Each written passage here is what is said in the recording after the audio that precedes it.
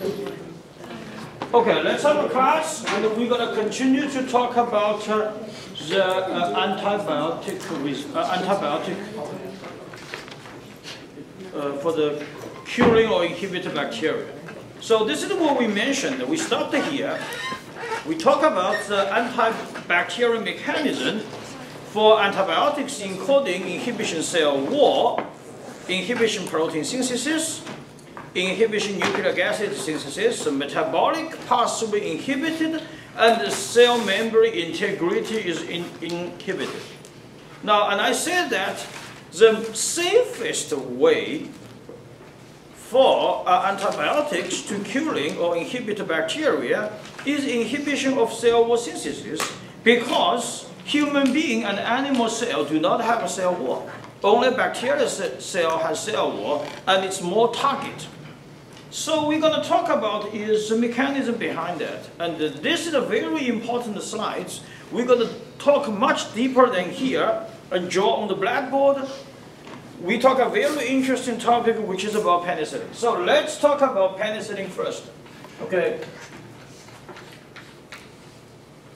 Penicillin.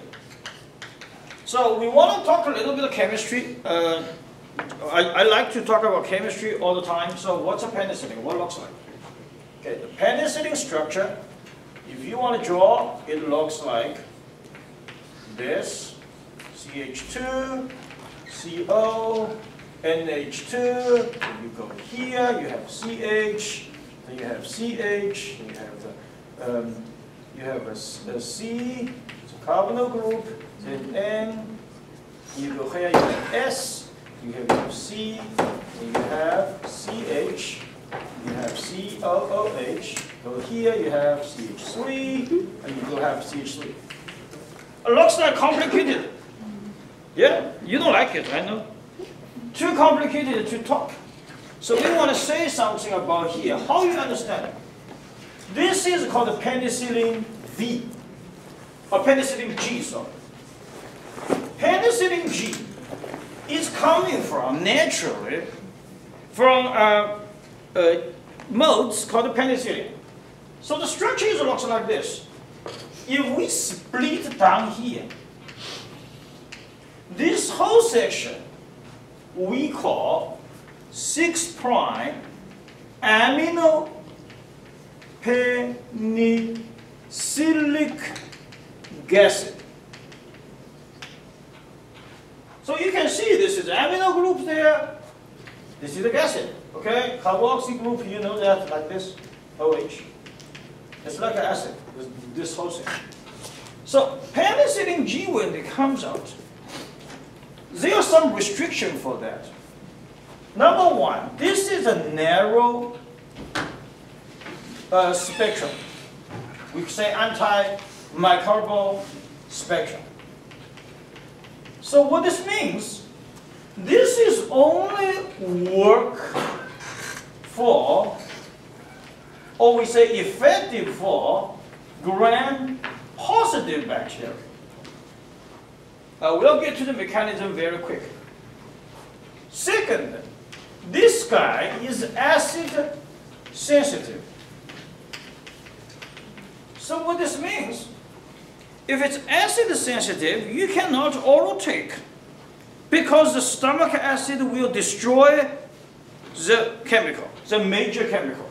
Now, what is the major chemical here? We draw some complicated. The major chemical structure here is this guy. This is called beta lactam. That is a major structure of a more effective structure for the penicillin. So acid sensitive, only muscle, muscular injection. This is very simple understanding. We have a joke when we were young. If the kids is coughing and sneezing, diagnosed with, with a, um, streptococcus pneumonia or something, then go to the hospital, then we'll have a box, have an injection in the butts. And uh, so next time when the kids is naughty, then we'll say, okay, if you still like that, we'll take you to the doctor, give you another shots. So it's like a joke, but it tells you, in the older time, penicillin G is only muscle injection. okay, now we're going to talk about how it works. So, which means antibiotic mechanism there. So this is go back to we talk about the bacteria structure. But we know the cell wall, the major components is peptidoglycan. And what is it composed? That is NAM and NAG. If you still remember the name, I hope you still remember, that is called N-acetyl glucosamine and N-acetylmuramic acids. And they are connected with alternative like this. And this is have NAG, then have NAM, then they have NAG, and then they also have NAN. Okay, now they connected like this. When the bacteria to constructed their peptidoglycan, they need an enzyme. Transpeptidase.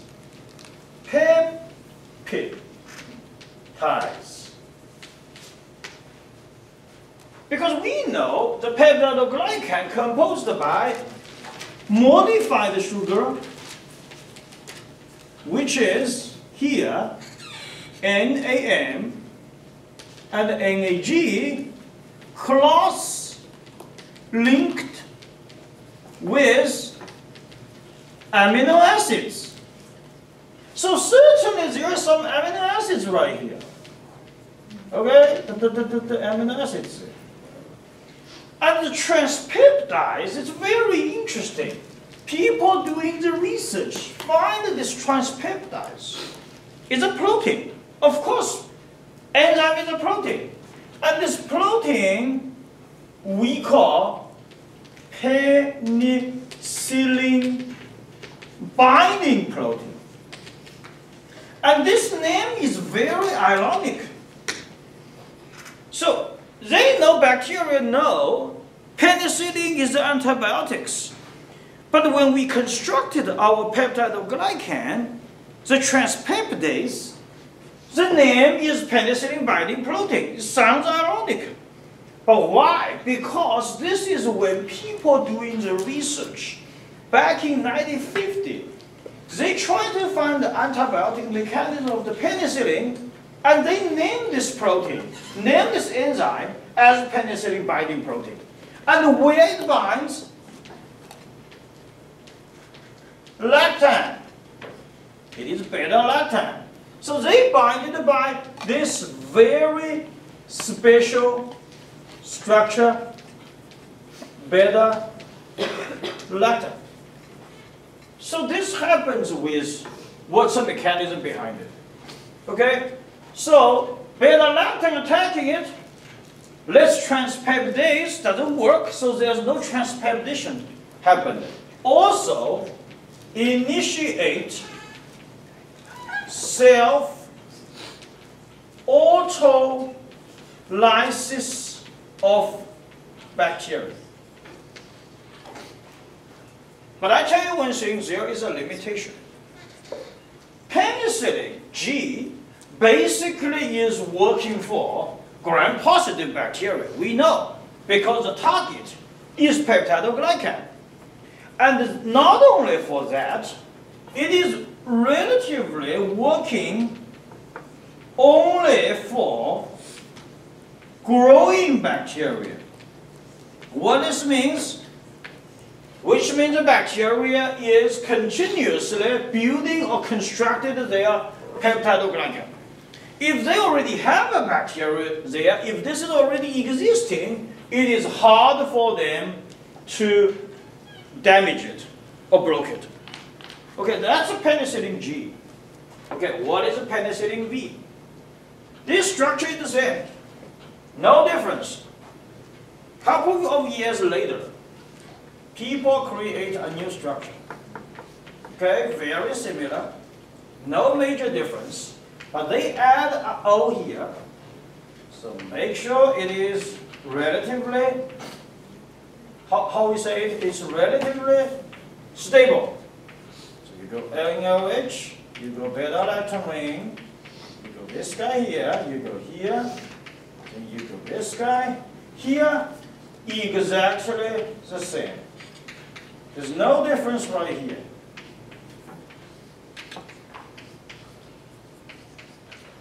They only added the right here.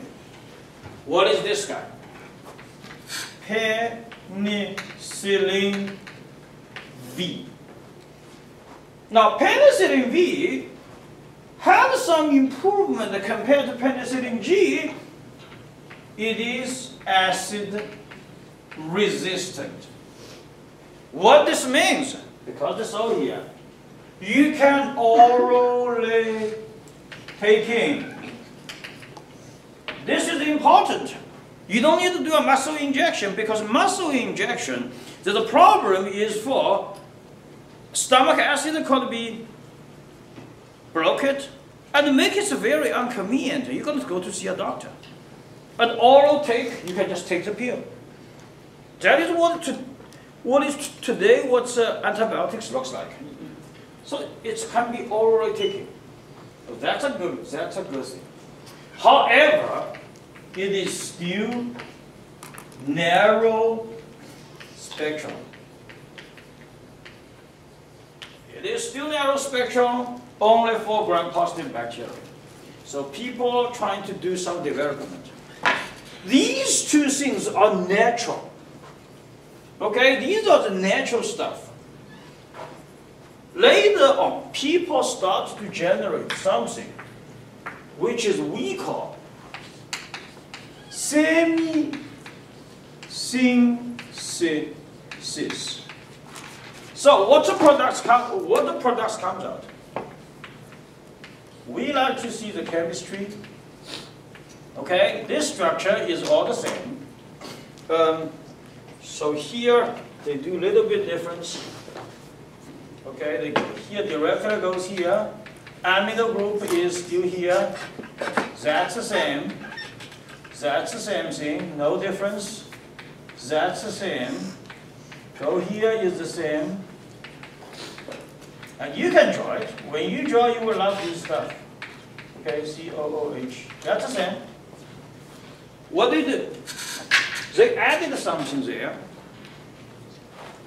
They add O-C-H a methyl group there, OCH. This is what we call bulkier. And you can understand from the chemical standpoint or the chemistry structure standpoint, make it heavy, make it more stable. And this specifically for anti-staphylococcus what is this guy? Methicillin. However, we use this too much. Is that right? We use this too much. And uh, in the hospitals, hospital encoding uh, carelessness, create nasal Comia infection. This is called methicillin-resistant Staphylococcus aureus. That's not looking good. But we make some progress because this is semi-synthesis, which means chemistry, chemistry scientists, chemical scientists can manufacture based on the natural products. And the target is Staphylococcus. In the history, it did help us a lot. What other today's stuff looks like? Later on with the develop development. Today, this structure looks like very interesting. They moved this NH right here. So it becomes like this. And this is new one. The new one is very interesting. They moved here.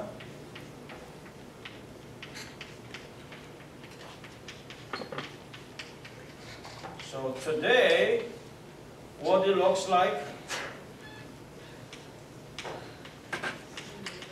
it becomes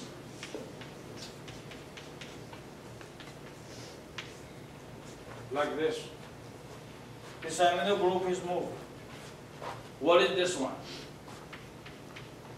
Amoxicillin or ampicillin.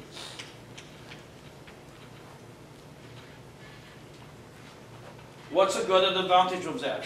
This becomes broad spectrum, which means equally effective for gram-positive and gram-negative bacteria. This is more hydrophilic, which means easily to be dissolved in the water, you can oral, orally take. Okay? However, there is an issue. People using this too much. And I mentioned some people in some country, you just start feeling not very well, you're taking antibiotics. So more and more bacteria become antibiotics. And then becomes antibiotic resistant, become a globally risk. So theoretically, if this happens, all of these are antibiotic resistant, what we do? there is a choice. Is vancomycin. Then the vancomycin comes out.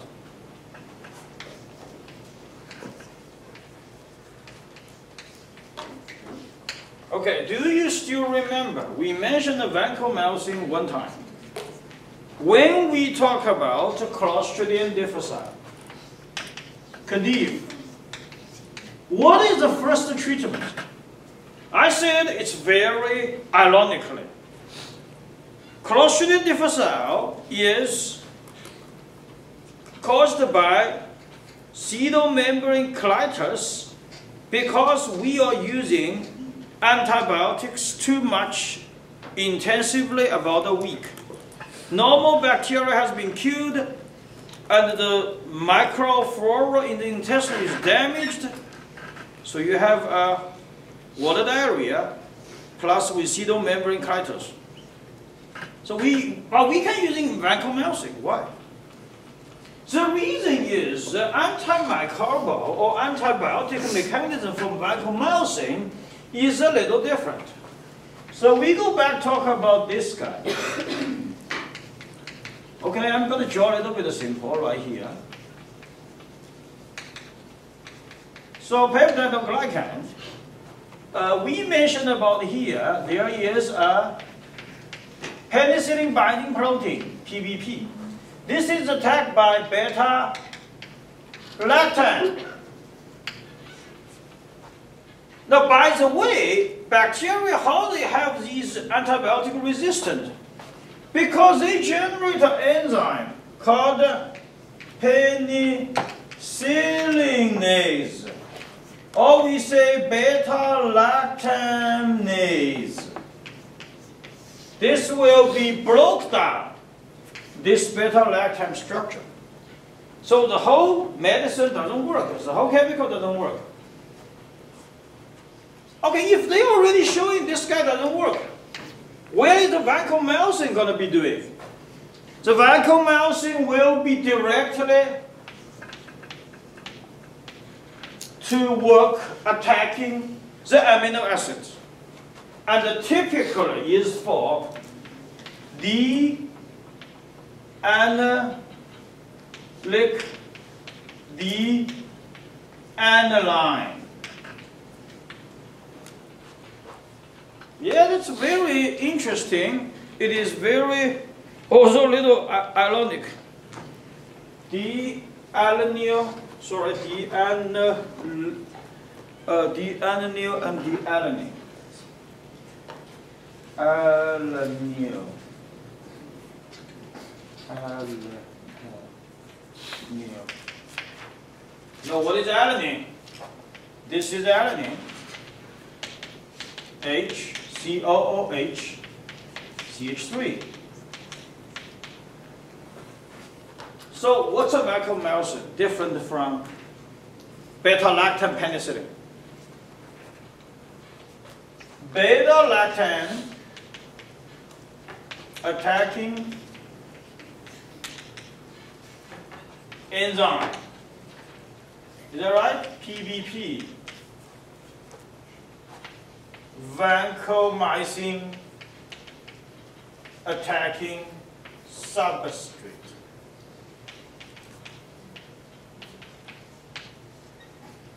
That's different. This directly work on the amino acids. Okay, let's say beta-lactam doesn't work. Vancomycin doesn't work. Bacteria is very smart. They can find a different way to prevent those drugs. Then what happened? This comes with bacitracin.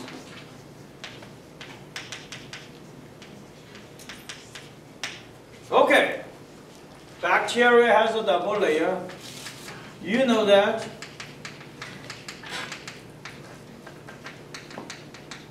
This is outside, this is inside. Inside doesn't work because you have find a way to crack it down. Okay, what I'm going to do? I don't give you food. I don't give you material to building peptidoglycan. So I block the material used for building peptidoglycan to transfer into inside of the cell. That's what the bacitracin works. Look at here, interfere the transport of peptidoglycan precursor across the membrane system. Which means you're going to building these things, you need these basic precursor. All kinds of chemicals, I'm going to block it. I don't let you go in. Something like, I don't give you food, I don't give you water. So what you're going to do? You're going to have to, to be starvation, starved inside of the cell membrane system or cell wall system. That's what the bacitracin. And we heard about the bacitracin. Which one? That is a disk. Remember? What will differentiate? We're going to have exam next week. What we going to differentiate? Which one is resistant? GBS, is that right? Streptococcus agalactia. Which one is sensitive? Susceptible? Streptococcus pyogenes. However, bacteria is very smart. You don't give them something in, they find a way to do. There's a lot of the bypass or the alternative transport systems, they can still get more or less some of the energy or some of the nutrition they like. So bacitracin, this is basically is static, which means inhibit bacteria grow instead of you kill them. So this is the whole story. A very typical three examples from beta-lactam drugs, uh, vancomycin, and the bacitracin, we talk about the story of inhibited cell wall synthesis of bacteria. If this doesn't work, the antibiotic resistance showed up, what we do? We need using other antibiotics. They are inhibit protein synthesis. However, majority of these have side effects. Because human being has cell wall, the human being animals also will do protein synthesis. And this is a ribosome. You know that? Ribosome has two subunits, 30S and 50S. This S stands for Svedberg units. It's talk about the velocity of the precipitation. And add up together is not 80s, it's 70s. So we want to talk about some of these, okay? Not every single piece. First thing I want to talk a little bit about the chloramphenicol. And I left this here, okay, because this is important. Chloramphenicol. This is the one in 1950s is a first, almost the most effective broad spectrum antibiotics. Basically killed everything. However, we don't use it right now. Only life-threatening situation. Because chloramphenicol will damage the bone marrow system, will be dramatically decrease white blood cell. Which means the immune system could be cracking down if you use that. Second one is tetracycline. Tetracycline right now, basically using in veterinary science area. Human being doesn't use that at all. It's very easy to have tetracycline antibiotic resistant bacteria comes out, but more important, they will cause discoloration of the, of the teeth. You may have a yellow teeth, a black teeth, all kinds of things will happen. Okay? Uh, macrolides, this guy here is for um, walking ammonia prevention. Now all the others, aminoglycosides, lincosamides, those may cause hearing loss. And uh, oxazolidinones, this guy we don't talk too much. Uh, basically, is for intestinal bacteria in an anaerobic environment they use it. So this is inhibition of protein synthesis. Okay, if that doesn't work, there's other way we find it. Inhibition of nuclear synthesis. Uh, this is the one I've always told the students. It sounds beautiful inhibit nucleic acid synthesis. And the target is RNA polymerase or topoisomerase. Let's say rifampicin, fluoroquinolones, even natric acid, all those things. But I tell you one thing, this is least effective. Why?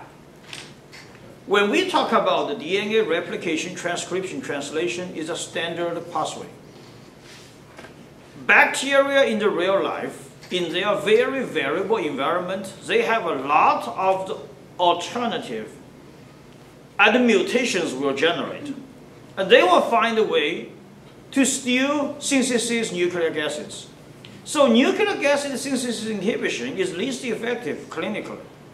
But what they are used for? We could uh, using, we could create, I'm gonna have to take this off we can create some of the bacteria using in the lab is very effective. So, I have, let's say, a bottle and a glass of E. coli 0157 H7. And this whole thing, if I spread the plating onto rifampicin had 100 ppm parts per, per million rifampicin, RIF, you will see some of the colony going to grow there. You can directly go there to do it. Because this is like an inducer, they will generate point mutation. And if you pick the colony, you should do regrowing multiple times, let's say five times. You repeatedly streak plating onto the other plates, have rifampicin 100 parts per million, this E. coli could carry on a rifampicin resistant gene. Now, it can be used in the lab. Why? Let's say I have a beef product. I want to test in the effectiveness of lactic acid as antimicrobials using 5% of lactic acid. So I have to inoculate E. coli on the surface. But how do you know the target bacteria is only the inoculated one. It's not one naturally existing on the surface. I have to label them using rifampicin.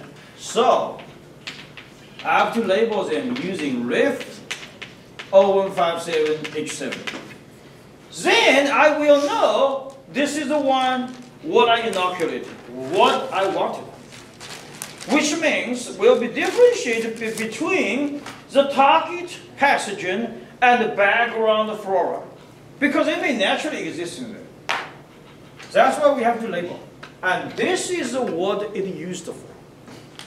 Now, the tricky thing is that this bacteria growing, every time you need to have RIF.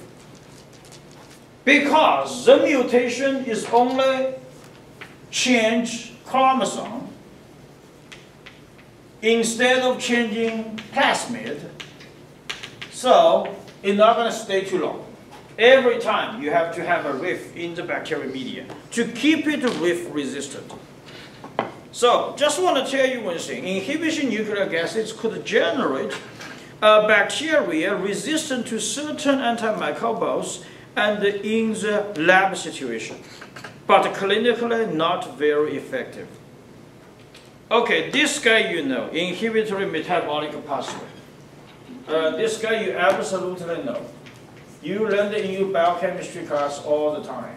So what is that? What is this guy? P A B A. What is the full name? Para amino benzoic acids. Why we need this product?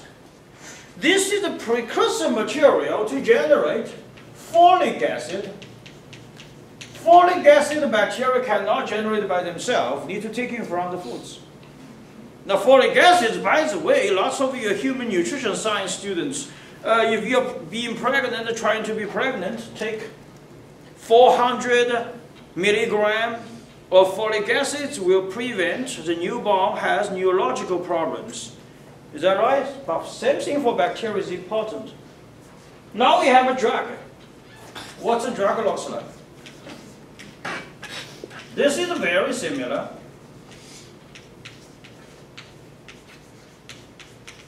That's called a sulfur drug, a sulfur larimide. Sulfur drug. Because the structure looks very similar, so instead of the enzyme find this guy, this will be competed. So that's called competitive inhibition. So prevent they generate folic acids. Because the structure of the sulfur drug compared to aminobenzoic acids looks exactly the same. The only thing is right here. The only, only difference is here. And I said sulfur drug is a chemical synthesized antibiotics. But we still call it antibiotics. And it is different from the penicillin G, which is natural from the penicillin. Okay, so this is inhibition of metabolic pathway. Next one, inhibition of cell membrane integrity.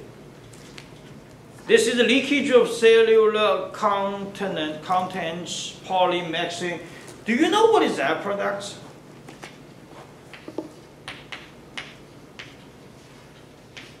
Ornament. You go to CVS, you get a like cream, like a cream, skin cream if it's itching, ornament. That is basically is inhib inhibit bacteria grow, not really kill it. So you have it, you're not feeling itching anymore, does not, does not necessarily mean the bacteria is gone, because it inhibits them to grow. Okay, so it's very interesting with this topic. This is antibacterial targets, a conclusion figure which is, tells you what is their target to curing the bacteria. So we talk about beta-lactam drugs, penicillin, vancomycin, bacitracin for cell wall. We talk about polymyxin B for cell membrane integrity, sulfur drug for metabolic pathway, lots of them for protein synthesis, and uh, for nickel and rifampicin for nucleic acid synthesis. It's a very good conclusion table uh, to study. Okay? So, here we end up with this section talk about antibiotic, uh, all the ma major information. Uh, by the way, I got a put on the eCampus uh, the weekend the study guidelines and the practice exams and case studies. Tuesday, I'm going to talk about the review. Thursday, we have exam. We left one thing we haven't talked. What are the other thing? How to control bacteria. We haven't talked about this information. We are going to go over it relatively quick, relatively easy. Okay, we talk about antibiotics. That is certainly is uh, important. But we're going to talk about the general of the bacterial control. So the first slide is relatively easy. Cyto versus static. That's a terminology used in the bacterial area a lot. What means cyto? Killing bacteria. What is static? Inhibit. And we know the growth curve, you can understand about that. This is never even started, and this is only the lag phase will be longer. It's still going to grow. So cidal and static, that's the first one.